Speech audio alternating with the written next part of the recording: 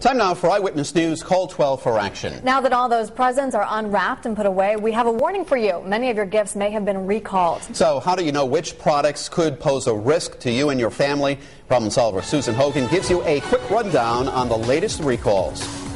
Great. You'll love your new butane stove, but there's a problem with it. Or that cute tea kettle from Rachael Ray. Yep, there's a problem with that one too. Call 12 for Action is all about keeping you safe, even if now means you've got to get rid of a gift or two.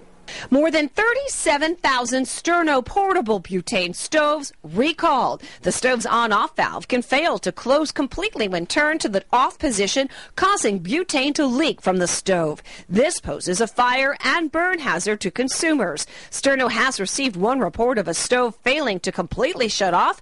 Consumers immediately should stop using the recalled stoves and contact Sterno for return instructions.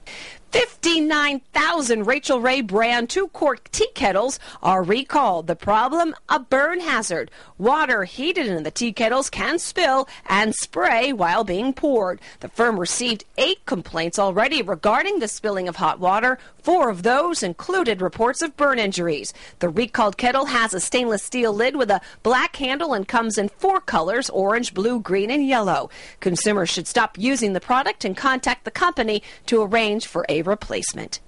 Amertac recalls nightlights due to a fire and burn hazard. About 272,000 units are affected. An electrical short circuit in the nightlight can cause it to overheat and smolder or melt, which can burn you or result in a fire.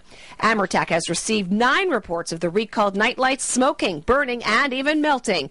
Consumers should remove the lights from the wall and contact the company for instructions on getting a full refund. For more details on the model number, simply go to WPRI.com and click on the recall page. And if you have a consumer problem you need help solving, contact our Call 12 for Action Center Monday through Thursday from 11 until 1, hotline 228 1850. I'm problem solver Susan Hogan, Eyewitness News.